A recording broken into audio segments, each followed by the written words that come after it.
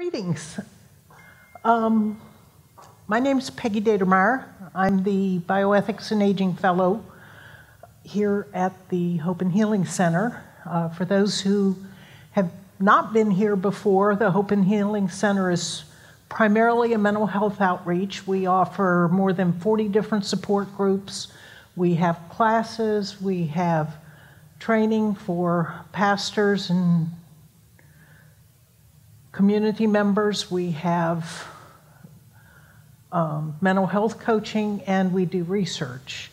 And aging is under the heading of mental health, obviously, because as we get older, we have to consider some of the issues.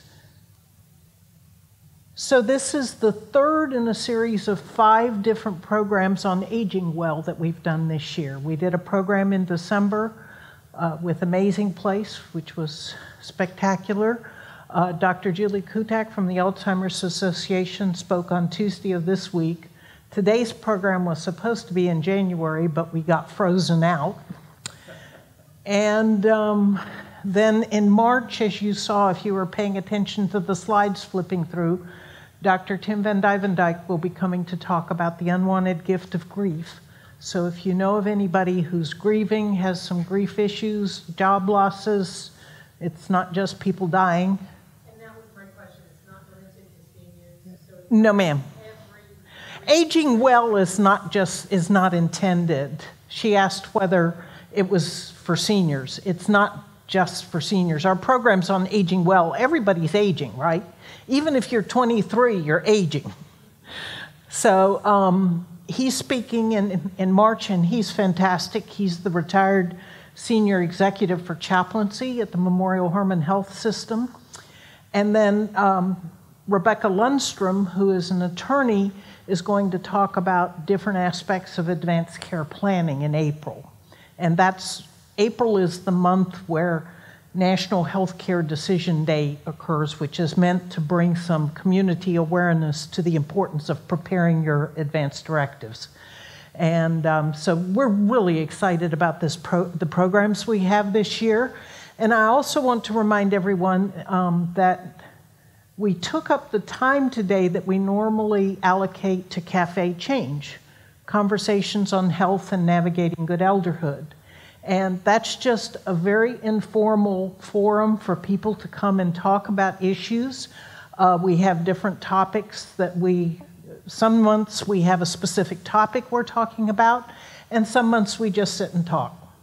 And for the next couple of months, um, I've been, I'm the facilitator for that group, and it's been suggested that we do something on nutrition as you're aging. And uh, one of our members is going to do a program and give some advice on online dating for those of you who are in that and how to stay safe in online dating. So we do we do lots of cool stuff over here. Keep an eye on our website. Um, we're in the process of developing programs for next year. So if you come up with any ideas that you would like to learn more about, um, I have cards with me. See me after the program and give me a call or shoot me an email. So today's talk is on Medicare and Medicaid and what do I need to know. As most of us who are over 65 know, um, Medicare kicks in in most cases when you're 65. I'm going to talk a little bit about the exceptions to that. Um, but the important, this, these two programs were implemented during the Johnson administration in 1965. So they've been around for a really long time. And as you can imagine, the rules and regulations associated with these two programs are huge. What I have tried to do is hit the high spots so that everybody at least has some foundation of knowledge. And then at the end of the presentation, I have a list of resources that would at least get you started if you have more questions. Some questions I can answer, but I don't pretend to be the world's greatest living expert on Medicare and Medicaid. I've just learned a lot from dealing with aging parents, dealing with um, people who come to talk to me, and I just am trying to get the word out to have people pay attention to this. Um, I may set, make some comments that sound a little bit political. I'm not trying to espouse any particular political position. I know everyone sitting in this auditorium has a different view of how things should be. But what I do believe is that everybody needs to understand what is happening because all of us, God willing, will turn will be in a situation to deal with one or the other or both of these programs. And there's an awful lot of misunderstanding about what things are covered and what things aren't covered. And some people end up being surprised. So, um, I'm, I would normally prefer to have people stop and ask questions as we're going along because we're recording this. I've been asked to try to keep most of the questions to the end, but if you have really something that you're confused about, raise your hand and I'll try to remember to repeat the question so that everybody hears it and it gets on tape. So, what I, oops, come back. So, what I'll start with today is describing some of the basic fundamental differences. And again, there's a lot of misunderstanding. I have had friends who are very smart, knowledgeable people make comments to me that just make my hair stand on end um, because of the assumptions that are made about what these programs cover and what they don't cover. Um, the funding sources are different, and that's where some of the politics comes in because of the way states have chosen to offer these programs, and I'll talk a little bit about that and put it in the context of Texas. Um, we have different qualifications for the programs, requirements that have to be met, and finally, I want to give you, like I said, I'm going to give you a list of resources. If you can't get them all copied down, don't worry about it. Again, if you, if you call me or give me uh, an email address, I'll send you the whole presentation, and then you, you'll have all the links that, are, that I've used, and you'll be able to get to those yourself. So, the fundamental definitions Medicare is a health care insurance program primarily for those over 65. So, the exceptions are folks with certain kinds of disabilities. So, if someone has become completely disabled and they've worked enough quarters and they collect Social Security uh, early because they're disabled, then some people can become eligible for Medicare. Again, not everybody, but some people. Medicaid, on the other hand, is an assistance program that covers people of any age. So I have had I've I had somebody who's near and dear to my heart make an offhanded statement one day about, well, that's just a program for those women, poor women who keep having babies. And I bit my tongue and I said very calmly, no, it's not. When it comes to the numbers of people receiving benefits, half of them are children. When it comes to the dollars that are spent on Medicaid programs, 75% goes to adults and seniors, and that's, as you can imagine, because of the aging population, it's trending more to seniors. And there's specific things that are covered, and so I'll talk a little bit more about that um, as we go along.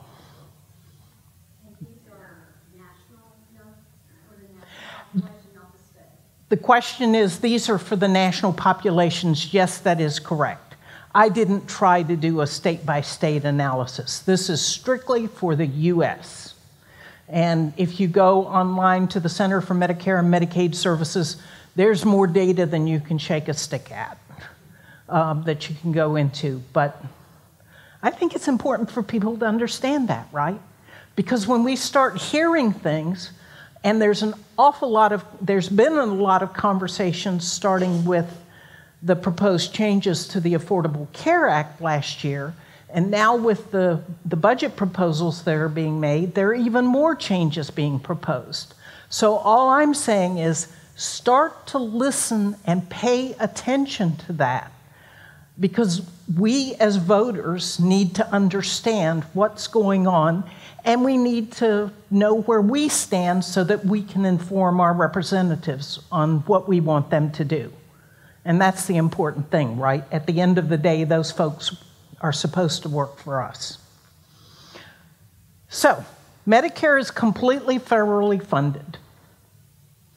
Medicaid, on the other hand, has dual funding an amount comes from the federal government, everything else comes from the state. So that means every state has their own rules and their own funding mechanisms. If you look at the state of Oregon as an example, they have made a decision as a state that they want everyone to have health insurance. And so they have geared their Medicaid program to cover everybody. And trust me, it's been a challenge for them because they've also made the decision that all of this is going to happen within the structure of their state budget, and they will not go into a loss. So they've tweaked the, they're constantly tweaking the program year over year. And they, some years, you know, they got to the point where they had 94, 95% of their population covered. It got too expensive, so they geared it back with having more copays and more um, contributions, and then the percentage would go down, and then they would make some more adjustments, and they, it's just been a roller coaster for them. Texas, on the other hand, has essentially made a choice not to expand the program under, under the Affordable Care Act. Under the Affordable Care Act, states could make a contribution, an additional contribution, and then the feds would give a bigger amount. And the state of Texas made a choice not to do that. So when you talk, when you see the eligibilities for Texas, they're a lot tighter than they are in some other states. Okay?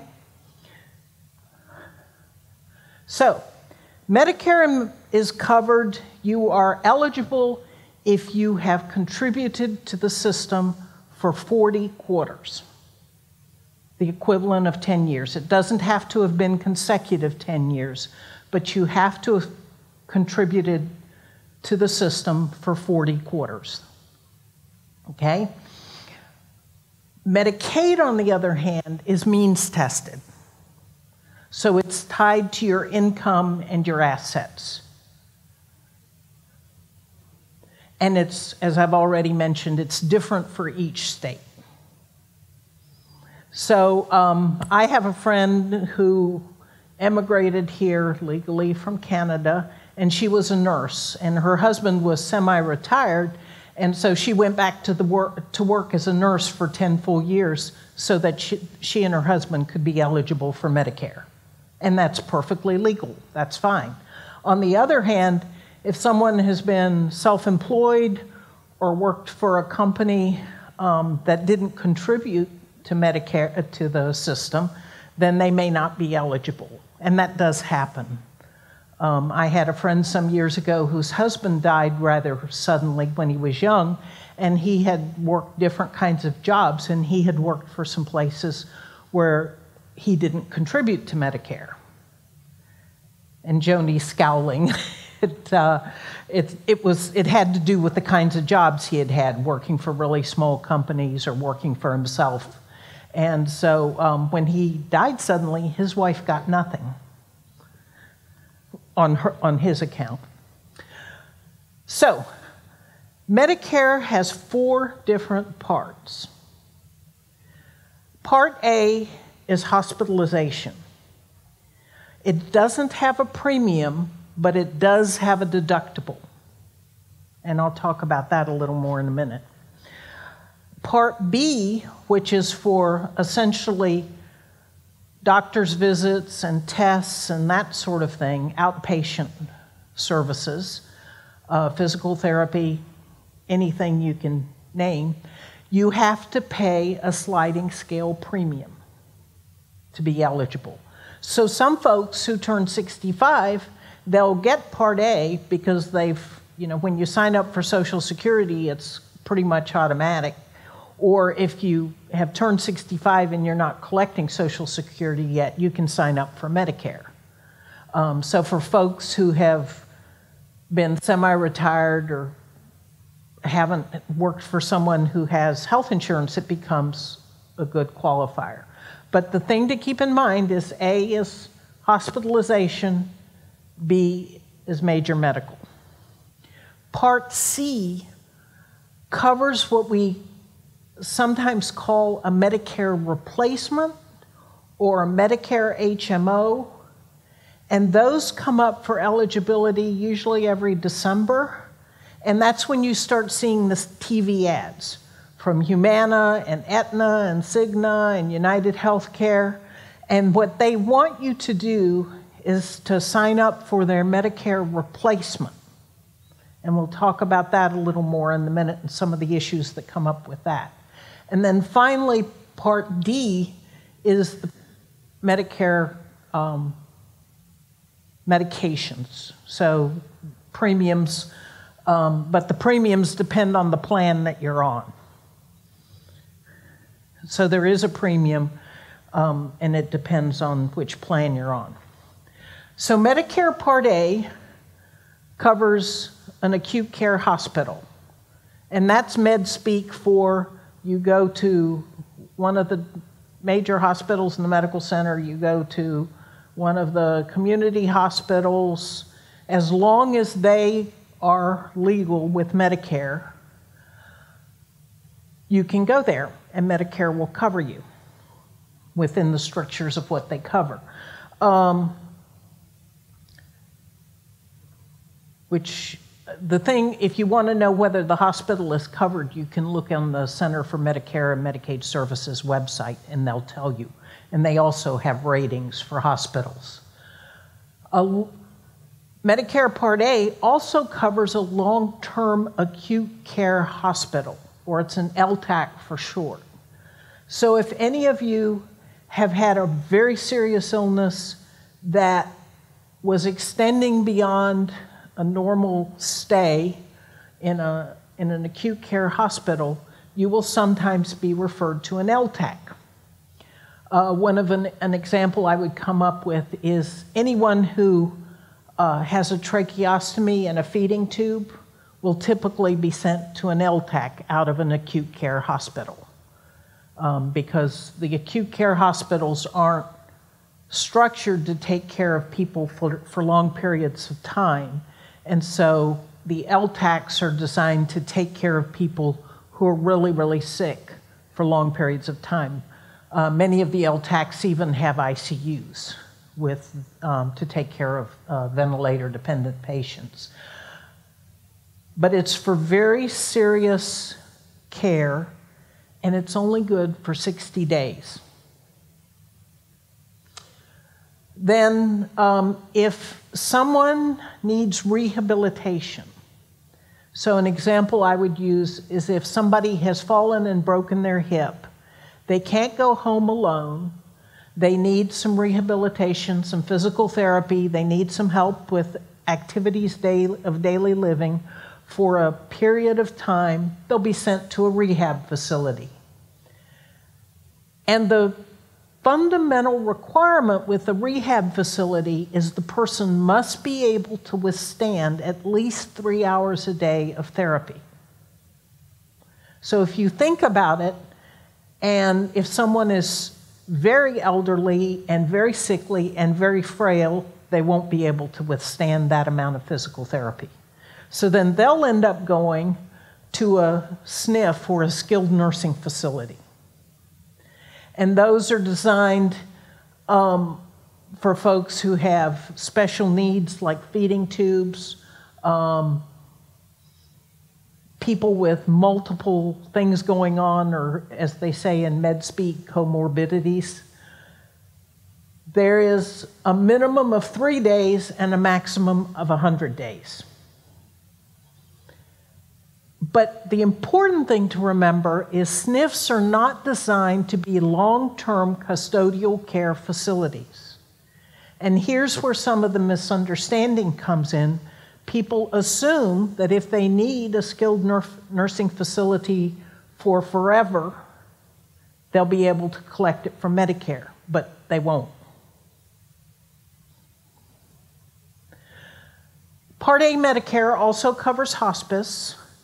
Um, as some of you may know, or everybody may know, hospice is care designed to be comfort care as someone is terminally ill. And for Medicare purposes, a terminal illness is defined as one where the person is expected to die within the next six months.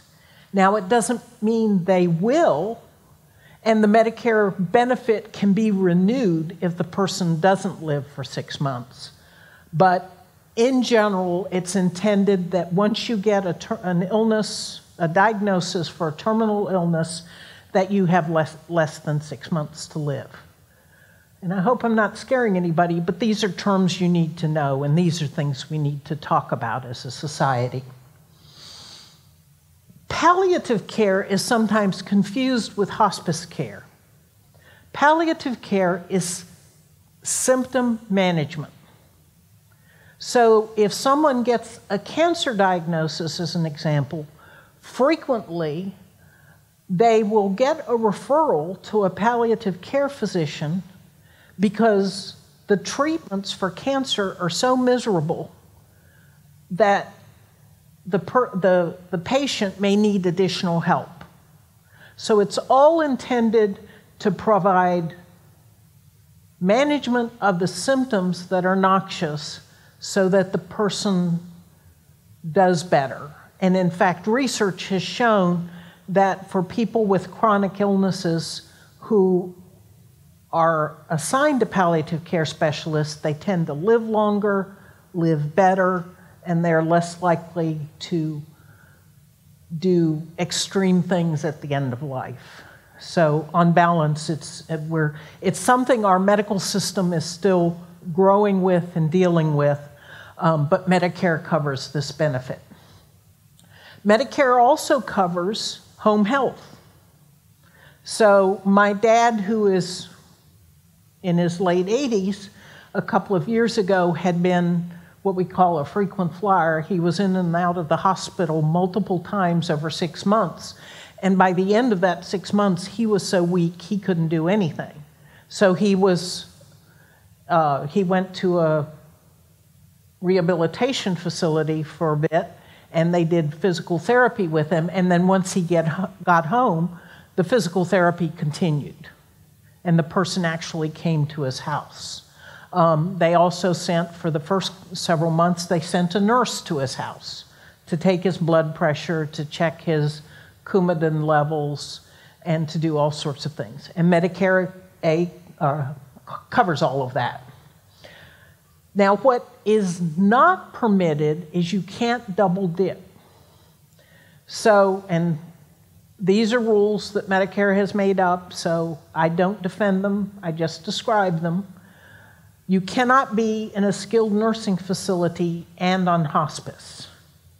So, the hospice service, which is, is the nurses and the nurses' aides and the doctor and the chaplain and the social worker coming to visit you, are all covered.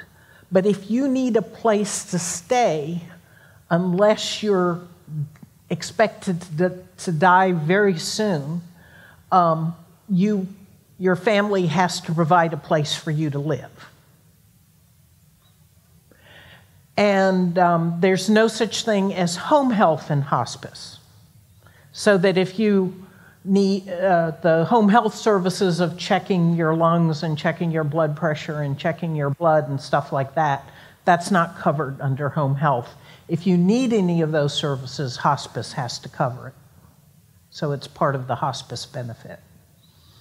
So that sometimes gets confusing. The other thing that is confusing sometimes is your hospice benefit is intended to cover the reason that you are dying.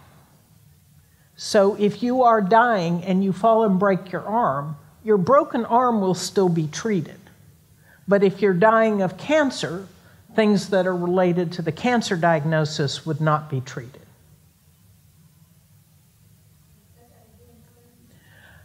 The hospice benefit is tied to the reason that you are in hospice.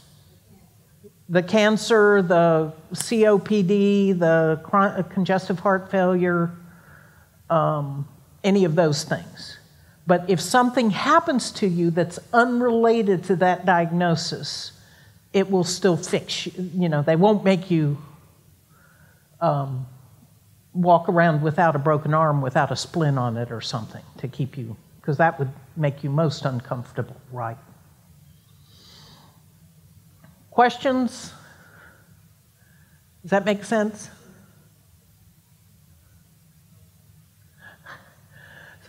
So, um, Part A, Medicare, also has some funky rules. So the, they're tied to how many days you need to be in the hospital before you qualify for rehab or LTAC or SNF services. So to qualify for rehab, you would have to be in the hospital for three consecutive midnights.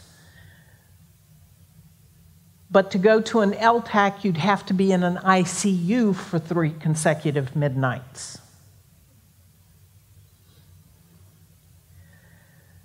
So, one of the questions that I frequently get if you have if you're on Medicare and you have some, or even regular insurance, and you have some interesting symptoms that are arising, when you go to the emergency room, they may admit you, but under observation status.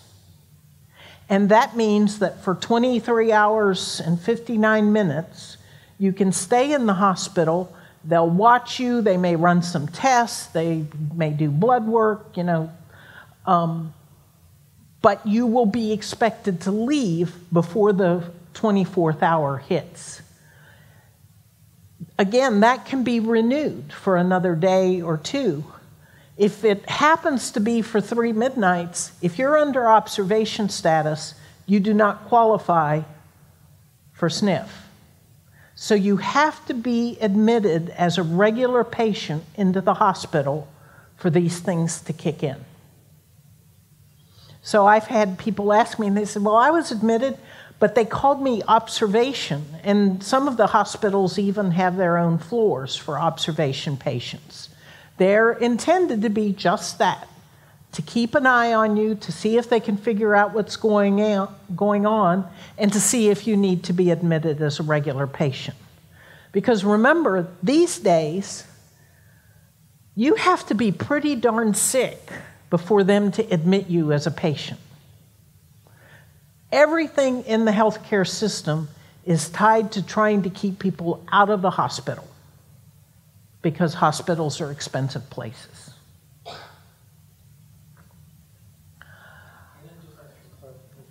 So if you're under observation for two days, does Medicare cover any of that cost? The question is if you're under observation for two days, does Medicare cover it? Yes, Medicare covers it, but you would not be eligible to go to a SNF if you needed to and have Medicare pay for it. Okay? Other, is that all clear as mud? So before you go to the hospital, you have to know you have some type of supplemental insurance that'll cover a SNF. I'll I mean, talk. You gotta set all that up. If, if you want to have coverage for all of these contentions, there is such thing, and I'm not even trying to get into that today, long-term care insurance. Um, I'll give a shameless plug. We're doing a series on aging with grace um, with the church that starts the Wednesday after Easter, and we're covering the healthcare, financial, legal, and living issues associated with aging. And long term care insurance is one of the topics we cover for that. And like I said, it's a shameless plug. But as you can see, all this stuff is really complicated. It's, there is so much information, and there's so many things you have to understand, and if this, then that. Or you have to find somebody who can help you with this. So, then there are rules on the number of days. So if you go to the hospital and you're in the hospital for five days and you get sent home, and once you're at home, you say, I can't function. Or your family members say, This isn't working. They call the doc and they want to readmit to the hospital. Well, you're not sick enough to go back to the hospital. You might be sick enough to go to rehab, but that has to start within 30 days of your hospital event. And then if you go to a rehab facility and then you get sent home and you're functioning along, you have to be at home for at least 60 days before the Medicare clock starts over again. So if you go home and you have a reoccurrence and you go back to the hospital, then you don't qualify for rehab again, unless you still have some of the original 60 days left over. It's so, as I said, Medicare has a coinsurance, um, or Medicare Part B. Well, A has deductibles, and I've given those here the differences between 17 and 18.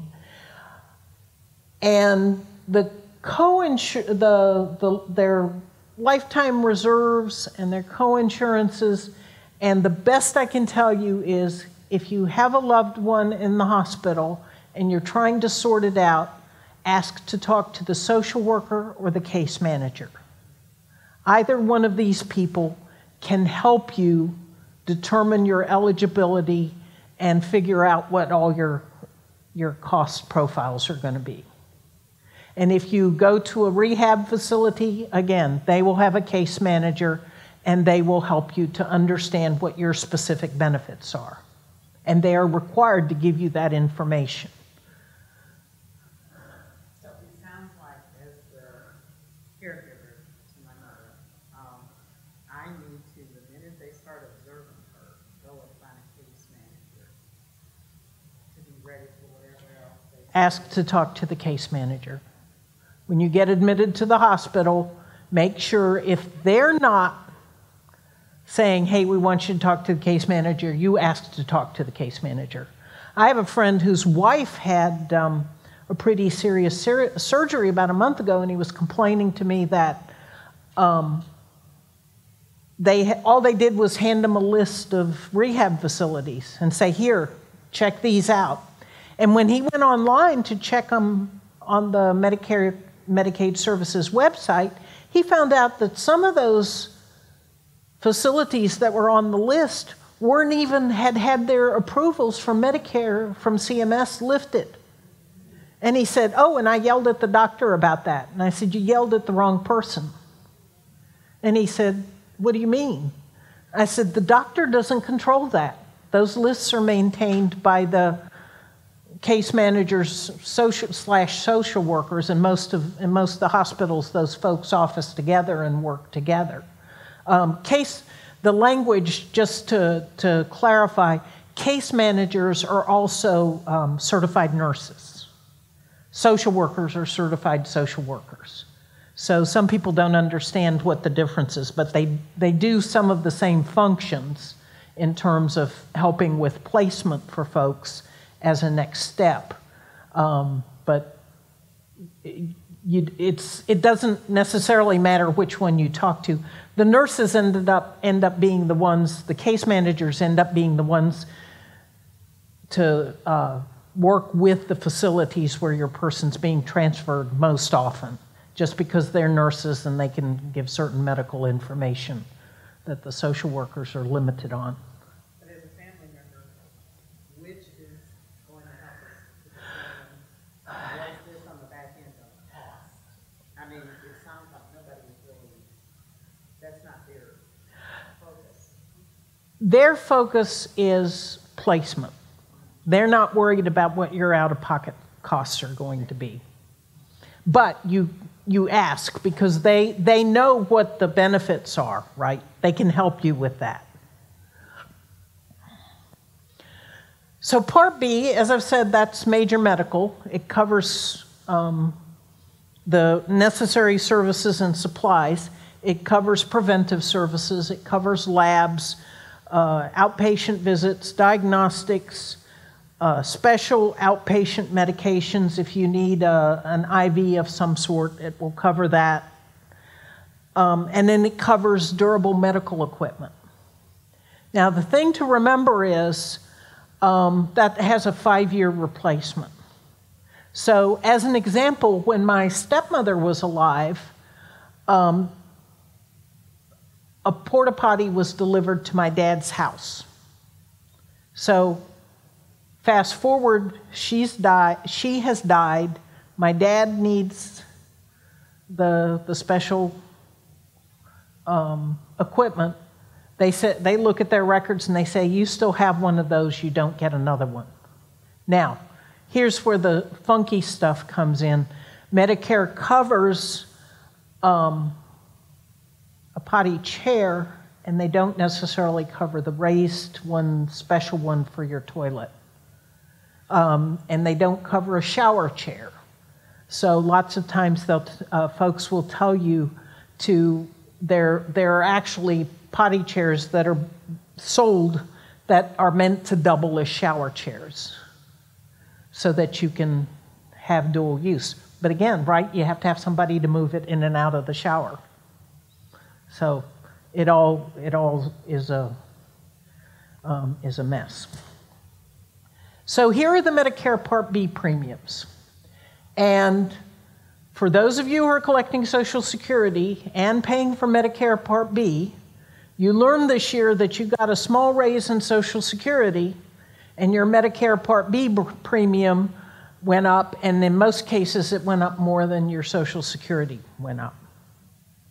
So, folks, you know, I, I talk to lots of people and they say, you know, I, you know, my, med, my, med, my Social Security went up $12 and my Medicare premium went up 17. And you go, yep. And for a lot of people, that makes a big difference, right? That $5 net every month. So when you listen to this stuff, pay attention. Also in Part B, one of my learnings has been that it doesn't cover an annual physical. It is supposed to. Part B, uh, the question was about Part B covering an annual physical. Post Affordable Care Act, it is supposed to cover. Because what happened was Part B was set up to have parity with the Affordable Care Act benefits. And one of the uh, requirements of the Affordable Care Act is that a annual physical be covered at no cost.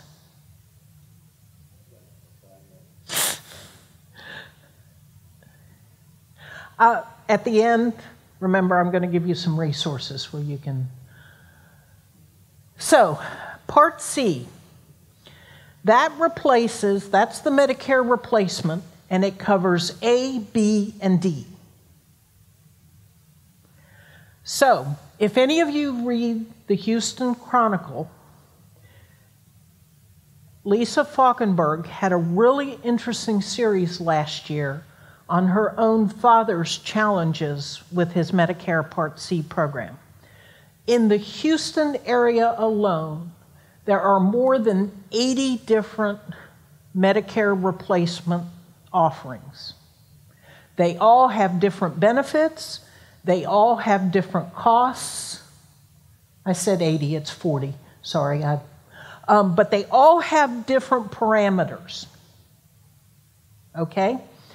And so when you, I have a, um, a friend who is really proud of his Medicare Part C program. It's cheaper than A and B and D, and it's covered everything he's needed it to cover. But he hasn't been sick yet. because what happens with the Medicare replacement programs, when you look at the needs for rehab facilities and LTACs and those kinds of things, all of those benefits are different.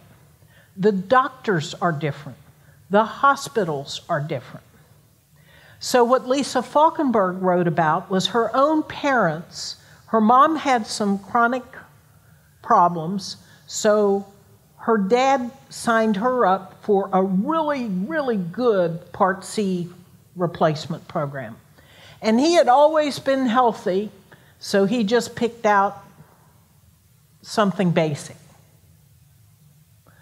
Well, he turned up with stage four lung cancer, and it was a variety that was different enough that the, rec- rec- the only treatment place where he could go was MD Anderson. And guess what? MD Anderson wasn't on the approved list of providers for his C replacement program. Well, fortunately for him, he has a daughter who knows how to do stuff. So she took on the system, and he did end up getting approved. And his doctor said clearly the pen is mightier than the scalpel. Um, to which she responded, no, it was both of us working together. But the caveat then is unless you're prepared to really go to bat if something serious happens, that you pay really close attention to what the Part C or the Medicare replacement benefits are. You know, go onto their website, Google your docs, Google your hospital, and see if they're covered.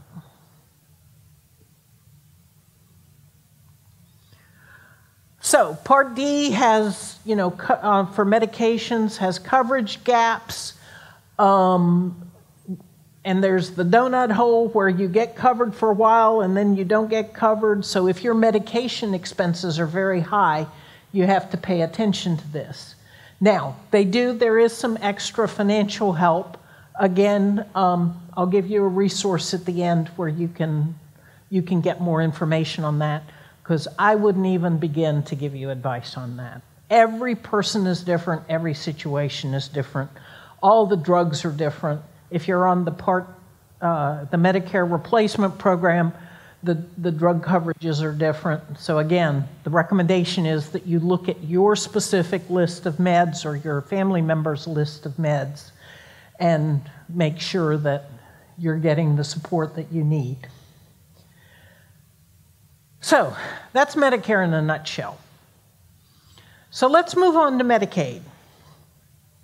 So Medicaid is, was originally designed to be a health coverage program for low income adults, children, elderly, and disabled.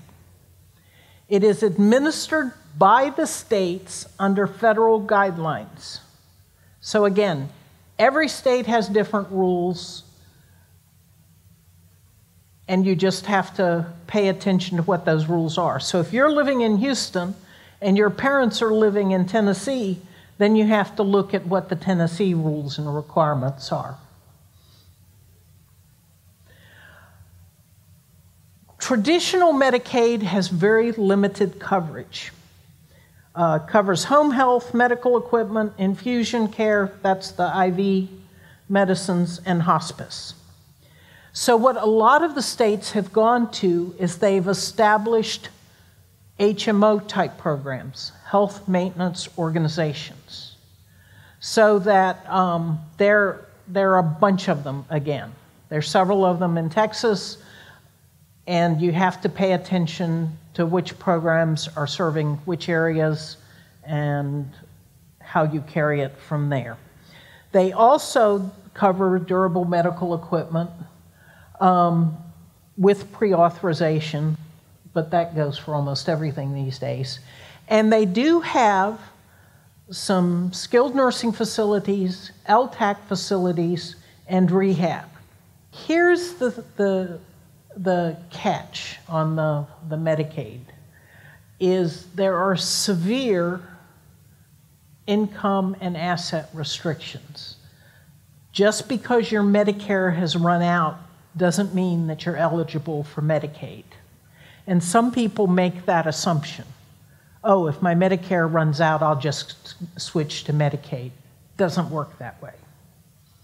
So, yes, Who determines the providers for the HMO Medicaid? the state of Texas. Or, well, excuse me, use the providers within the HMO, the HMO does. No, I mean, no, I mean the plan. The plan is all defined by the state of Texas.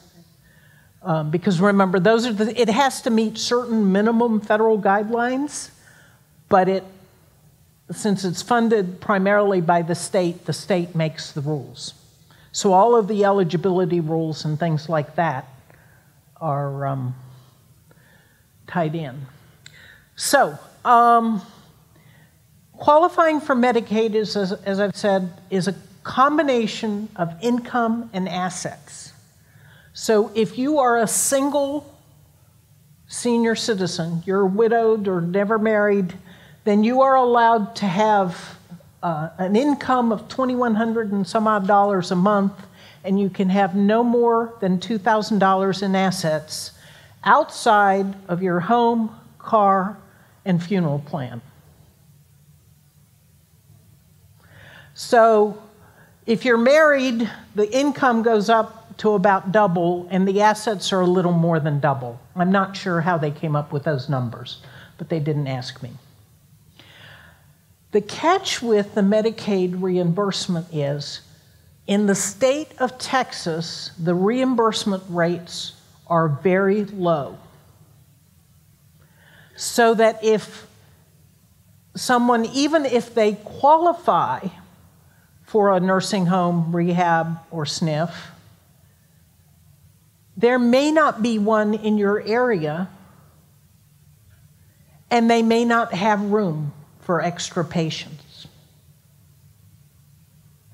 So, we would have, when I was a hospital chaplain, we would have folks who had used up all their LTAC days, and the family was bound and determined to keep them going. Sometimes the person was awake, sometimes they weren't, but that's a whole nother issue. And they would have to go to a Medicaid LTAC, and the closest one to Houston is in San Antonio. The, and remember, I just said their reimbursement rates are low, so those folks have to survive financially. That's why within the Texas, under the Texas Ombudsman program, a lot of the attention, I've been told they spend most of their attention on the Medicaid facilities. Because they have to make sure that those places are safe and that they're providing the minimum services. To qualify for Medicaid financially, remember I said the asset limitation outside of home, car, and funeral plan. Um, you can't just say, oops, I'm running out of money, I'm going to give all my assets to my kids, and then they'll, they'll make sure that I'm okay on the side, but I'll qualify for Medicaid. There's a five year look back. And again, I'm not going to begin to give you the financial implications, all that. I would just say if you have more assets than that and you anticipate that a time might come that you're going to run out of money, work with a financial planner.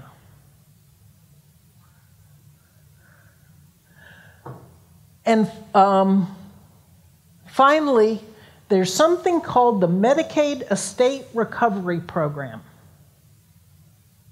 Medicaid Estate Recovery Program. What this means is remember, I said your house and your car exempted.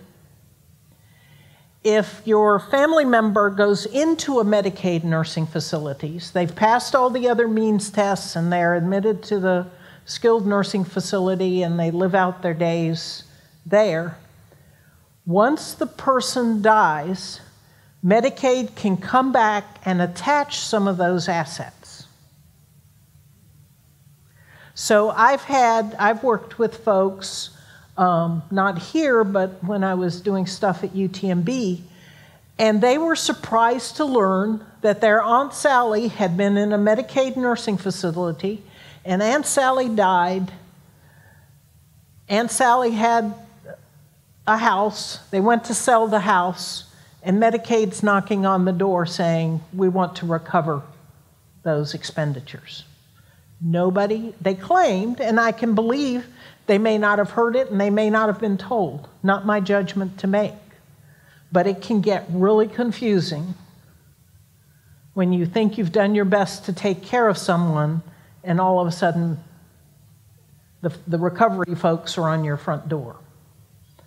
So, my only warning with you here is if you are taking care of someone who has to use Medicaid services as a senior, pay attention to that stuff and work with professionals to figure it all out. Again, I'm, I can't give you all the ins and outs, but I know this happens. And, it, and they'll tell you. They tell you on the website. But most folks don't, haven't paid attention to that. Don't they agree on some, some kind of cost? And, and let the family members know what the cost is going to entail? They just come back after the person dies and say, we're going to this amount. We'll take it out of the house sale. Yes, ma'am. board for a rural health clinic and people lost everything in Williamson County that they didn't know ma'am.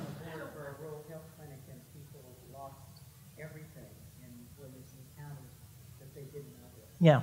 Joyce is saying she, she was on the board Have a rural health Of a- clinic in Williamson County. a rural health clinic. The, you know, who lived in the house with like grandmother, lost everything because grandmother, Died. that's all she had was the house and they lost everything. So grandma only had the house, they sold the house, and then the family lost everything. So what about if the total bill owed is, let's say, two hundred thousand, and the house sells for one hundred thousand? Do they come after the, uh, heirs saying you owe a hundred thousand, or they stop once they collect? If the house only hundred thousand, they stop. Right. So the question is, if the house is, say, somebody, the expenditure has been 200,000 and the house is only a one, 100,000, they don't come after the rest of the heirs for the other 100,000. On the other hand, if grandma had some antique jewelry and who knows what all, they'll, they'll happily take that.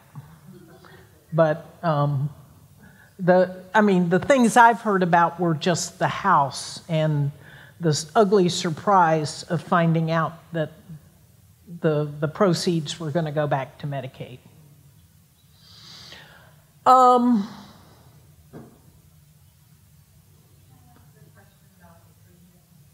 this one?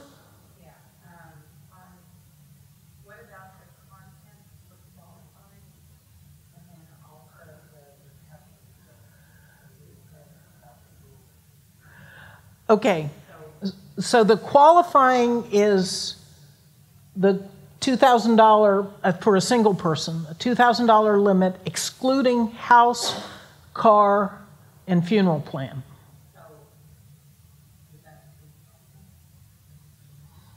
Um, I. No, uh, so that if you have a lot of jewelry, you're expected to, that's in the assets that aren't excluded. As far as the furn. Right. So if you have a lot of, you know, most folks that wouldn't be a very big number, but if you have a lot of antique furniture or something, then it could be.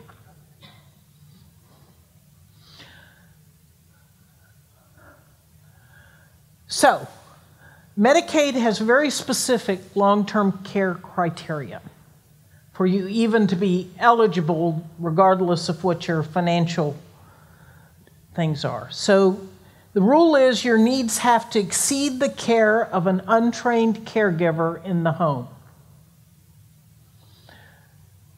So, uh, for example, somebody has a big wound, has an open wound, or they have a peg tube, a feeding tube, uh, dementia, psychiatric needs, something like that, those would be qualifying events. And in that, that nurse supervision is required. Because lots of people are old and they just need somebody in the house to make to keep them company. That won't qualify you for a Medicaid facility. It must be ordered by a physician. And there has to be evidence that the person cannot take care of themselves.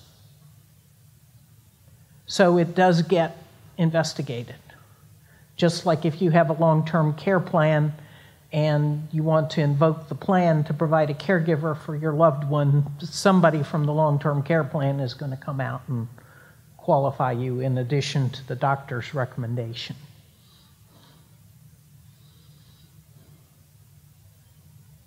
Understand? Are we good? Okay, so I said I promised a list of resources. Um, professional health advocates, um, some of these I'm personally familiar with, some not. Um, but the Center for Medicare and Medicaid Services is cms.gov. That's your, that's your go to overriding website for everything.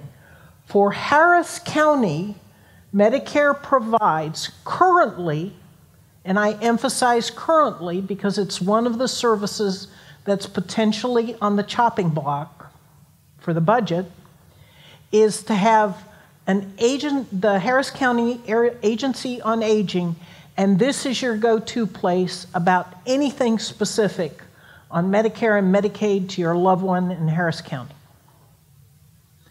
They have all kinds of resources. If you go to their website, they have caregiver resources, they have advice on all kinds of things. And the feedback I've gotten is that these folks know what they're doing.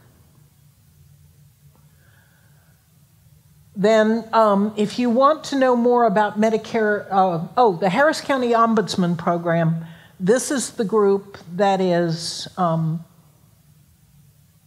charged with watching all the long term care facilities. And we're fortunate in Harris County because they they're very active and they have raised extra money for themselves so that they have more staff ombudsmen and they have a huge volunteer program. And they, so they have volunteers who go around, take two to four hours out of their week every week, sometimes more, to go visit facilities and to serve as troubleshooters and just have eyeballs on the place. And they're trained and they are wonderful people. Um, this is the Medicare Advantage plans in Harris County. As I said, there are 40 different plans. If, you, if your family member thinks that what, that's what they want to do to um, provide their medical care, take a look at it. Uh, medication assistance programs is needymeds.org.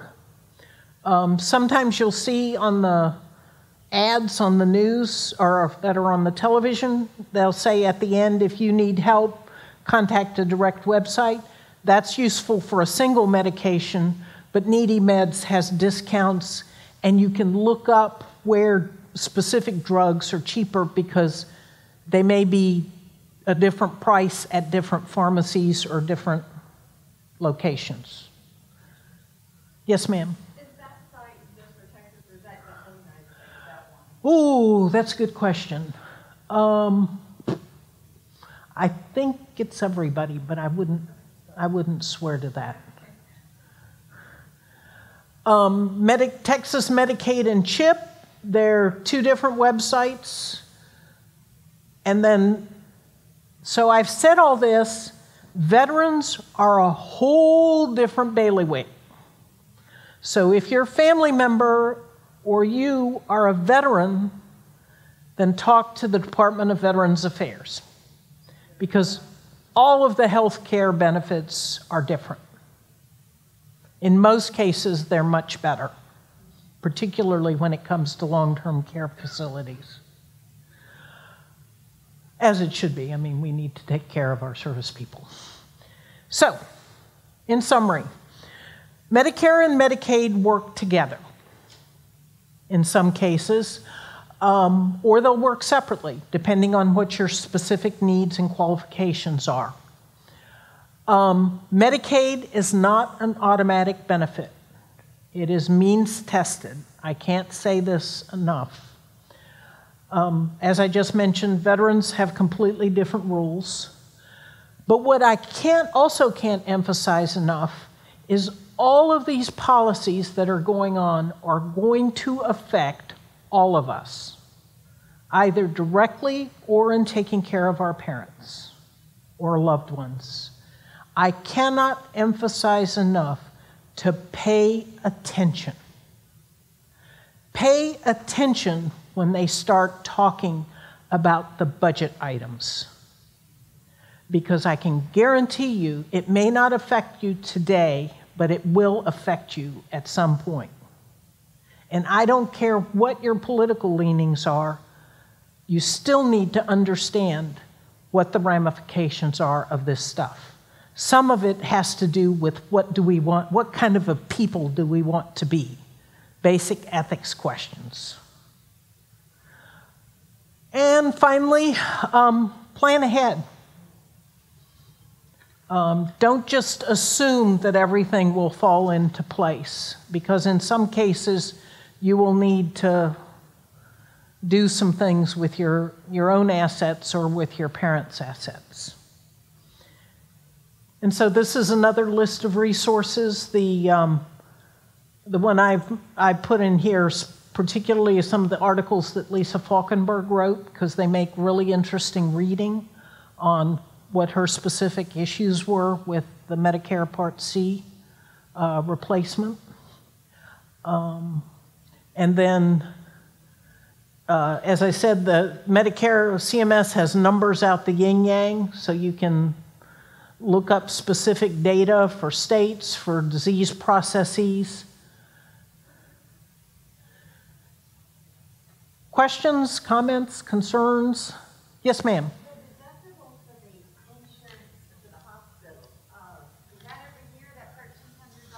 Yes. So the question was Are the deductibles the same for every year? And the short answer is they start, the clock starts over after every year. Other questions? Oh, y'all are easy. You know, where's the misunderstanding? Because the only reason anything was done on healthcare reform is because people, middle-class people, lost homes, lost all, all their savings over illness. Then it became such a big, whoa, political thing, instead of, how does that apply to me? Because even when people hated anything about healthcare reform, they were being impacted by it. Mm-hmm. It just seems illogical that we get so political, whoa, instead of, oh my goodness, this is going to hit me in a year. It's um, the question or the statement was, how did this all happen? You know, how did we get to a point? Think about it in terms of dollar signs.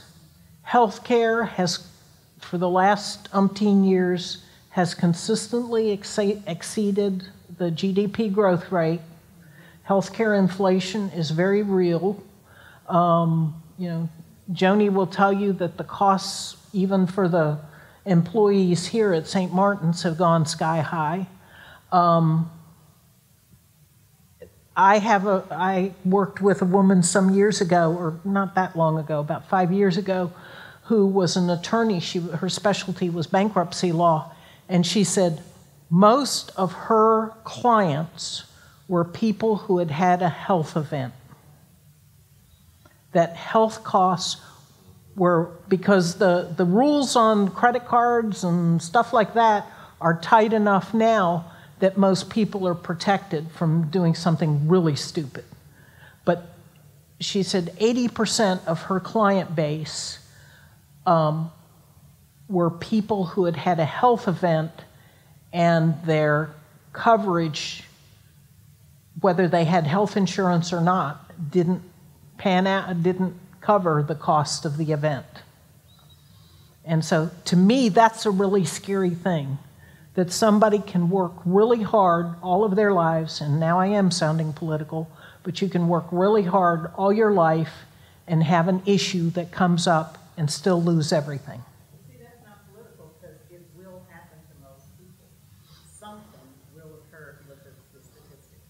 Even if you're healthy and everything's fine today, in a week, The numbers that um, there's a group, and I can't remember their name off the top of our head, off of my head, but every year they tell you how much it's going to cost you to pay your Medicare insurance premiums and your copays and your deductibles. And that number has gone up to from 65 to death. That number is somewhere in the $350,000 range. And I'm, I have an MBA, so I sat down and said, How can that be? But then I sat down and said, okay, if somebody lives another 20 years and they have even just regular things every year where they they have, you know, a, the flu or do something, just paying your copays and deductibles almost gets to that number. That's pretty scary.